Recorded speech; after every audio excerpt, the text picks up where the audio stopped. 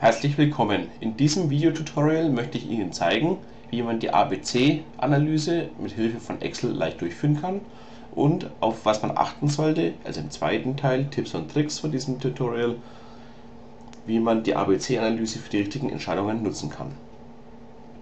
Ich habe Ihnen hier eine entsprechende Tabelle vorbereitet und möchte sie Ihnen kurz erläutern, was Sie hier alles sehen. Zunächst einmal handelt es sich um den Umsatz je Kunden. In der ersten Spalte sind die Kundennummern entsprechend absteigend dargestellt.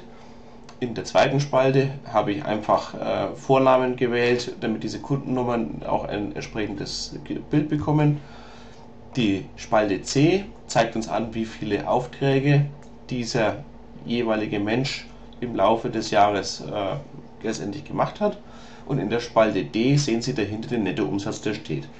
Insgesamt hatten wir also 76 Bestellungen für einen Nettoumsatz von 4.841,78 Euro. Uns interessiert nun, welche Kunden ähm, wie verteilt sind, also welche Kunden besorgen uns ganz besonders viel Umsatz. Dazu markieren wir zunächst mal die entsprechende Tabelle und gehen auf benutzerdefiniertes Sortieren wir können dann hier auswählen, in welcher Reihenfolge welche Spalte wir sortieren möchten. Hier nehmen wir zunächst mal den Nettoumsatz und sortieren es nicht aufsteigend, sondern absteigend. Das heißt, uns zeigt die Tabelle an, beginnend mit dem Kunden mit dem größten Umsatz, nach unten hin immer kleiner werdend, wie sich der Umsatz verteilt hat. Wir sehen, die Firma 3 hat mit drei Aufträgen insgesamt einen Umsatz von 459,11 Euro erzeugt und ist damit einer oder der größte Umsatzbringer für unsere äh, Beispielfirma. Wie machen wir es der Reihe nach unsere ABC-Analyse? Wir kumulieren den Umsatz jeweils auf in einer neuen Spalte. Das nennen wir Umsatz kumuliert und hier können wir als Formel angeben, ist gleich die Vorzelle für die erste Zelle. In der zweiten Zelle, aufpassen, ist gleich die zweite Zelle plus die entsprechende Vorzelle. So. Wenn wir nun diese ganze Formel runterziehen, dann haben wir beginnend vom stärksten Umsatz aufsummiert die ganzen, bis wir 100% unseres Umsatzes erreichen. Wir können sehen, dass zum Schluss 4.841,78 Euro bei 100% Umsatz letztendlich angefallen sind und vergleichen dies mit unserer Spalte D der gesamten Summenzeile und sehen, das ist korrekt. Jetzt interessiert uns natürlich noch, wie viele Kunden wie viel Prozent letztendlich darstellen. Also wie viele Kunden haben wir?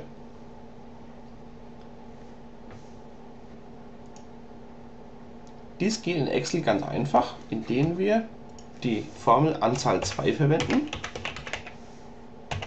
Anzahl 2, Klammer auf, markieren den Bereich, Klammer zu und sehen, wir haben insgesamt 50 Kunden.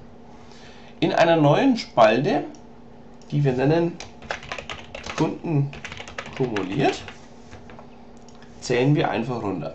1, 2, 3 und ergänzen dies bis zum 50. Kunden. Bis zum 50. Kunden. Wenn wir nun die Prozentwerte unserer Kunden ausrechnen wollen,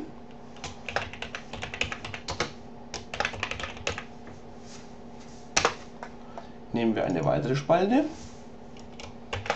ist gleich Anzahl der Kunden geteilt durch die Gesamtsumme der Kunden. Hier bitte aufpassen, dass wir mit Dollarzeichen arbeiten. Ein Druck auf die F4-Taste ergänzt diese entsprechend, damit wir und auf Prozent einstellen, 2%. Damit wir, wenn wir runterziehen, keine Formelfehler endlich erzeugen. Nun interessiert uns noch der Anteil des Umsatzes in Prozent.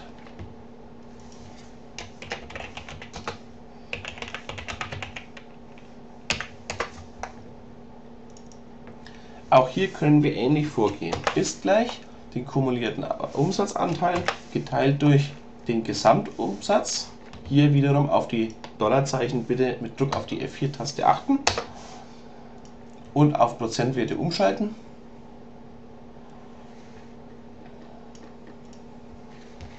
Wenn wir das etwas genauer machen möchten, können wir noch eine Nachkommastelle entsprechend mehr angeben.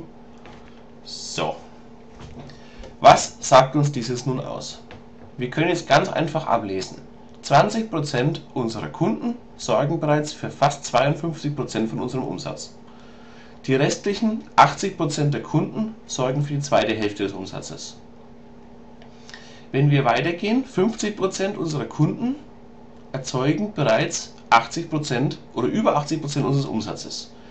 Also eine ähnliche Verteilung, die gemäß unserer Pareto-Regel uns anzeigt, dass es einen ganzen Anteil gibt von Kunden, die sehr interessant für unser Unternehmen sind, weil sie, obwohl sie eine kleine Menge der Gesamtkunden darstellen, einen großen Anteil am Umsatz ausmachen.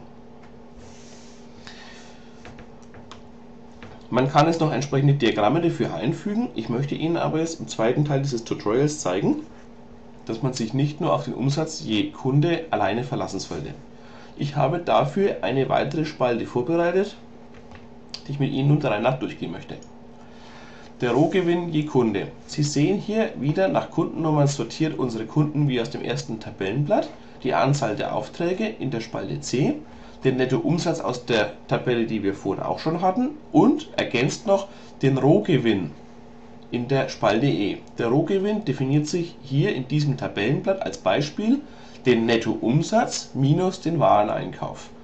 Diese Zahlen habe ich letztendlich aus dem entsprechenden Buchhaltungssystem gezogen, damit wir hiermit arbeiten können.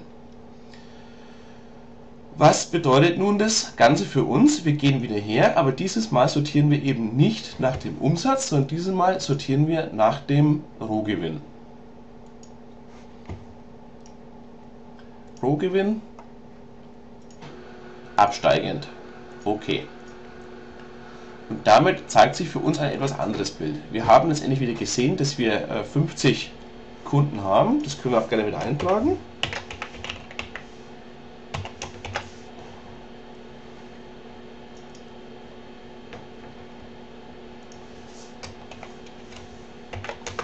50 Kunden. Wir können auch unseren Rohgewinn wieder entsprechend aufsummieren.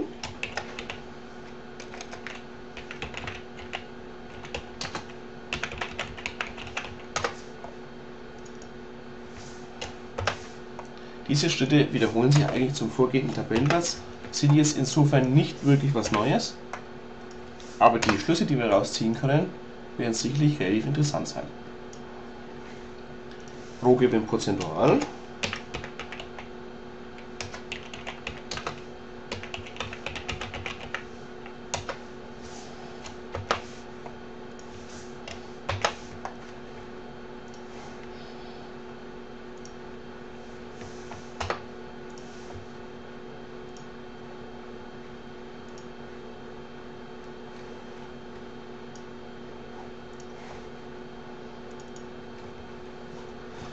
So. Und unsere Anzahl der Kunden.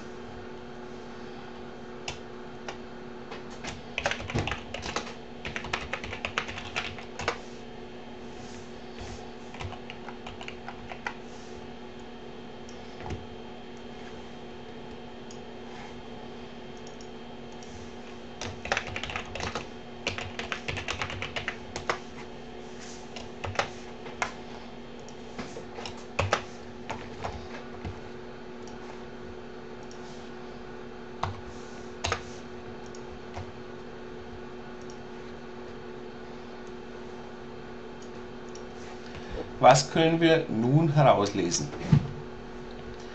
80% unseres gesamten Gewinns generieren wir mit 50% unserer Kunden. Oder andersherum, 20% unserer Kunden realisieren bereits 53% unseres gesamten Gewinns. Wenn wir uns nun die Kunden wirklich anschauen, der lukrativste Kunde mit dem höchsten Rohgewinn zunächst mal ist Verein 2 dann kommt Firma und danach Enrico. Vergleichen wir dies mit unserer Tabelle, haben wir hier drin stehen Firma 3, Enrico und René. Sie sehen, diese Namen sind nicht deckungsgleich. Das bedeutet, für unser Unternehmen selbst. Wir hätten, hätten wir uns nur den Umsatz je Kunde betrachtet, möglicherweise falsche Schlüsse gezogen. Wenn Sie beabsichtigen, besondere Betreuungsangebote für Ihre speziellen A-Kunden zu realisieren, also feste Ansprechpartner beispielsweise, schnelle Reaktionszeiten und ähnliches, dann verlassen Sie sich bitte nicht nur auf den Umsatz je Kunde, sondern sehen sich wirklich an, wie viel Geld verdienen Sie mit den jeweiligen Kunden und analysieren Sie danach, welche Kunden für Sie die lukrativsten sind. Und damit sehen wir eben genau, dass es sich eben um die ersten drei zum Beispiel handelt. Kleinbestellung war auch relativ lukrativ und dann kommen erst Firma 3. Firma 3 war im Umsatz ganz vorne dran. Sie sehen, das war die Firma 3, war der Kunde mit dem höchsten Umsatz. Was die Rendite angeht, ist Firma 3 aber erst auf einen der, der schlechteren Plätze und nicht vorne auf die ersten Position. Gehen wir nun weiter. Denken wir mal darüber nach, was kostet uns denn die Abwicklung eines Auftrags?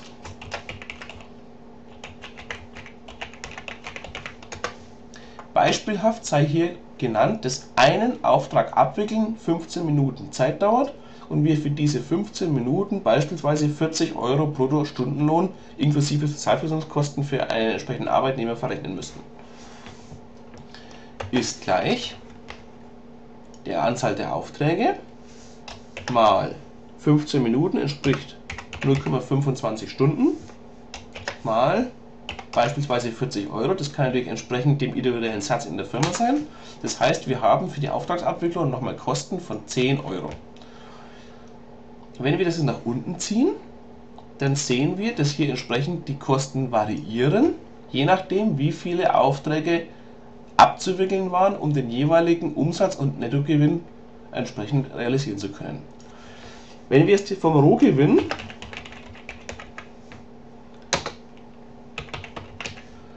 die Kosten für die Auftragsabwicklung abziehen, ist gleich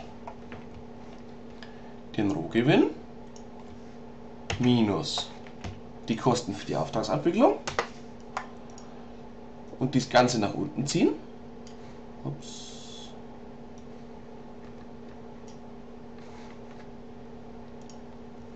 Dann passiert folgendes, dass es hier sogar Kunden gibt, mit denen wir letztendlich Minus erwirtschaften.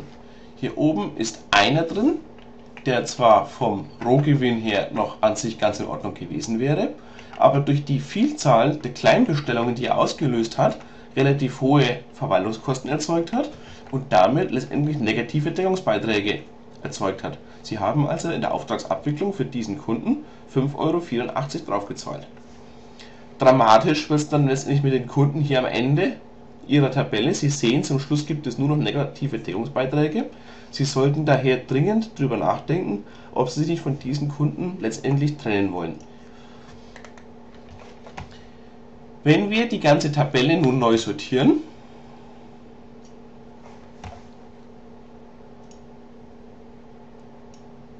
nach dem Rohgewinn, netto, und diesen auch entsprechend wieder absteigend sortieren, zeigt sich ein anderes Beispiel.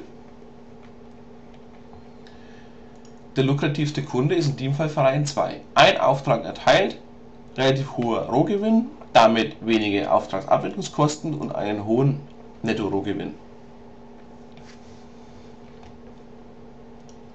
Spielen wir nun unser Spiel nochmal durch. Wir zählen unsere Kunden nach der Sortieraktion neu.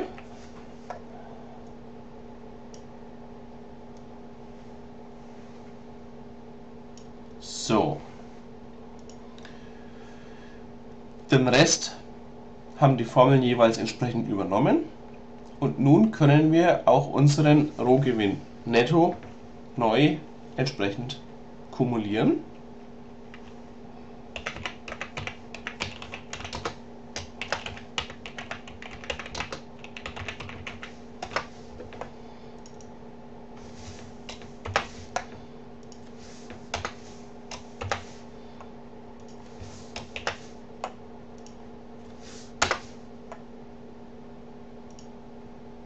Ups. Entschuldigung. So.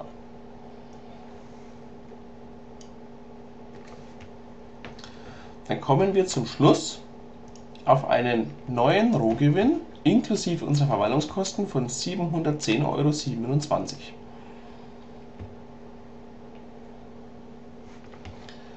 Wenn wir nun die prozentuale Verteilung uns ansehen,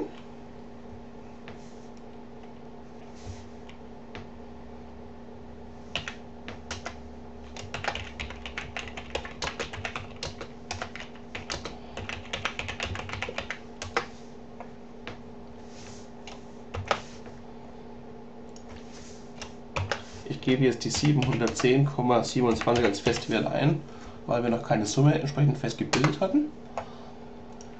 Und das Ganze als Prozentwert.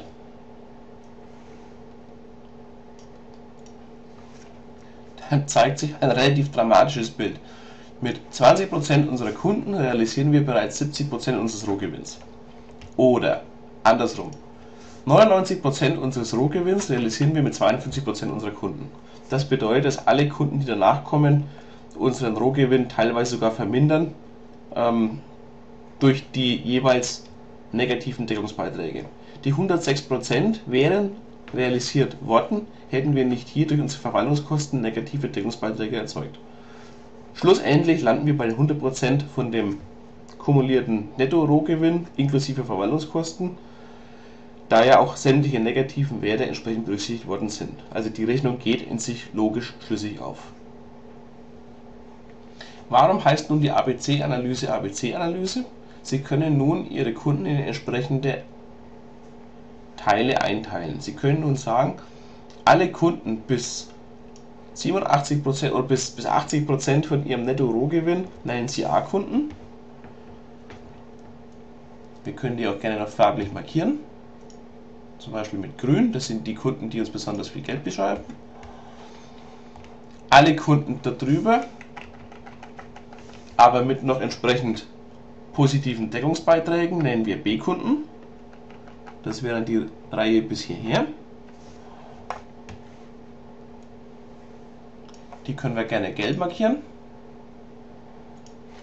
Und die Kunden, die letztendlich nur Kosten verursachen und uns wirklich keinen neuen Gewinn bringen. Die können wir entsprechend rot markieren.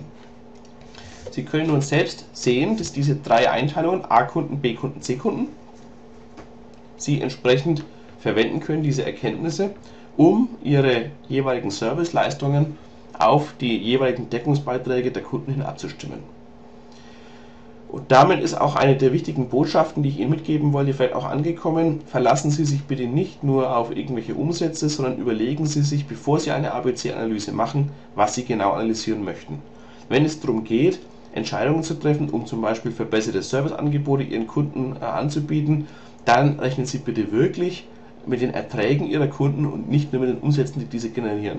In den meisten Fällen, es gibt ganz wenige Ausnahmen, in den meisten Fällen liegen Sie sonst nämlich daneben.